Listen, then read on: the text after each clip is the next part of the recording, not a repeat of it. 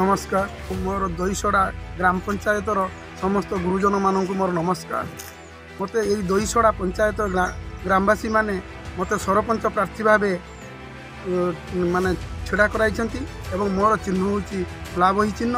ମୁଁ ଜିତିଲେ ଦହିସଡ଼ା ପଞ୍ଚାୟତର ସର୍ବାଙ୍ଗୀନ ଉନ୍ନତି ମୁଁ ବିକାଶମୂଳକ କାର୍ଯ୍ୟ କରିବି ବୋଲି ମୋର ଲକ୍ଷ୍ୟ ଅଟେ।